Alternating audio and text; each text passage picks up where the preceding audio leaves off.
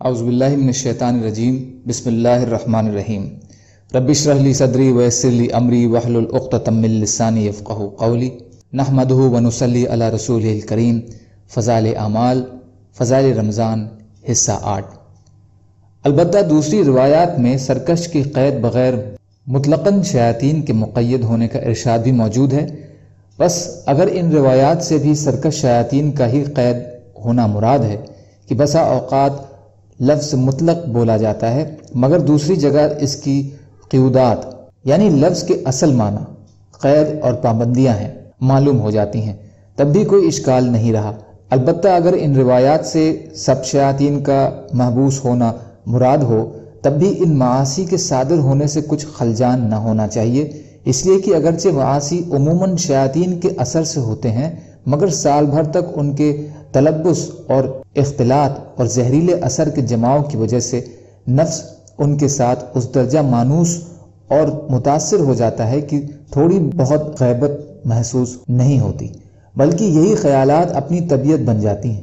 اور یہی وجہ ہے کہ بغیر رمضان کے جن لوگوں سے گناہ زیادہ سرزد ہوتے ہیں، رمضان میں بھی انہی سے زیادہ تر صدور ہوتا ہے اور آدمی کا نفس چونکہ ساتھ رہتا ہے اسی لیے اس کا اثر ہے۔ دوسری بات ایک اور بھی ہے کہ نبی اکرم صلی اللہ علیہ وسلم کا ارشاد ہے کہ جب آدمی کوئی گناہ کرتا ہے، تب اس کے قلب میں ایک کالا نقطہ لگ جاتا ہے۔ اگر وہ سچی توبہ کر لیتا ہے، تو وہ دھل جاتا ہے، ورنہ لگا رہتا ہے۔ اور اگر دوسری مرتبہ گناہ کرتا ہے، تو دوسرا نقطہ لگ جاتا ہے، حتیٰ کہ اس کا قلب بالکل سیاہ ہو جاتا ہے۔ پھر خیر کی بات اس کے قلب تک نہیں پہنچتی۔ اسی کو حق تعالی شاہ نے اپنے کلام پاک میں کلا بل رانا اللہ قلوب سے ارشاد فرمایا کہ ان کے قلوب زنگالود ہو گئے۔ ایسی صورت میں وہ قلوب ان گناہوں کی طرف خود متوجہ ہوتے ہیں۔ یہی وجہ ہے کہ بہت سے لوگ ایک نو کے گناہ کو بے تکلف کر لیتے ہیں، لیکن اسی جیسا کوئی دوسرا گناہ سامنے ہوتا ہے، تو قلب کو اس سے انکار ہوتا ہے۔ مثلا جو لوگ شراب پیتے ہیں، ان کو اگر سور کھانے کو کہا جائے، تو ان کی طبیعت کو نفرت ہوتی ہے۔ حالانکہ معاشیت میں دونوں برابر ہیں، تو اسی طرح جبکہ غیر رمضان میں وہ ان گناہوں کو کرتے رہتے ہیں، تو دل ان کے ساتھ رنگے جاتے ہیں۔ جس کی وجہ سے رمضان المبارک میں بھی ان کے سرزد ہونے کے لیے شیاطین کی ضرورت نہیں رہتی۔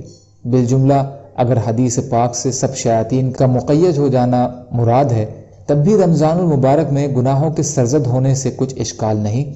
اور اگر متمرد یعنی سرکش اور خبیص شیاطین کا مقید ہونا مراد ہو، تب تو کوئی اشکال ہے ہی نہیں۔ اور بندہ ناچیز کے نزدیک یہی توجہ اولا ہے یعنی یہی بہتر ہے۔ اور ہر شخص اس کو غور کر سکتا ہے اور تجربہ کر سکتا ہے کہ رمضان المبارک میں نیکی کرنے کے لیے یا کسی معاشیت سے بچنے کے لیے اتنے زور لگانے نہیں پڑتے جتنے کہ غیر رمضان میں پڑتے ہیں۔ تھوڑی سی ہمت اور توجہ کافی ہو جاتی ہے۔ حضرت مولانا شاہ محمد اسحاق صاحب رحمۃ اللہ علیہ کی رائے یہ ہے کہ یہ دونوں حدیثیں مختلف لوگوں کے اعتبار سے ہیں۔ یعنی فساق یعنی فاسق لوگ کے حق میں صرف متکبر شیاطین قید ہوتے ہیں اور صلحاء کے حق میں مطلقاً ہر قسم کے شیاطین محبوس ہو جاتے ہیں۔ پانچویں خصوصیت یہ ہے کہ رمضان المبارک کی آخری رات میں سب روزہ دار کی مغفرت کر دی جاتی ہے۔ یہ مضمون پہلی روایات میں بھی گزر چکا ہے۔ چونکہ رمضان المبارک کی راتوں میں شب قدر سب سے افضل رات ہے۔ اسی لیے صحابہ کرام رضی اللہ تعالی عنہ نے خیال فرمایا کہ اتنی بڑی فضیلت اسی رات کے لیے ہو سکتی ہے۔ مگر حضور صلی اللہ علیہ وسلم نے ارشاد فرمایا کہ اس کے فضائل مستقل علیحدہ چیز ہیں۔ یہ انعام تو ختم رمضان کا ہے۔ اللہ تعالیٰ کہنے سننے سے زیادہ عمل کی توفیق عطا فرمائے اور جو بھی مسلمان بھائی بہن جہاں بھی پریشان حال ہیں یا اللہ ان کی مدد فرمائیے اور ان کے جان و مال کی حفاظت فرمائیے۔ یا اللہ ہم سب کو رمضان المبارک کا حق ادا کرنے والا بنا دیجیے اور اپنے دین پر جمع رہنے والا بنا دیجیے۔ سبحان اللہ و بحمدہ سبحان کا اللہ بحمد کا اشہد اللہ الہ الا انتا استغفرک و اتوب الیک۔ سبحان ربک رب العزت اما صفون وسلام علی المرسلین۔ والحمد للہ رب العالمین، برحمتک یا ارحم الراحمین۔